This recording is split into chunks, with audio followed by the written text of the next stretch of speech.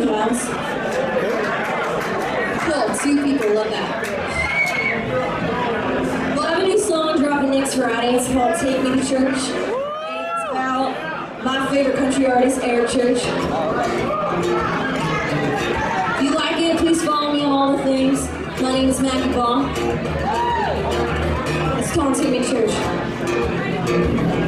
to Church.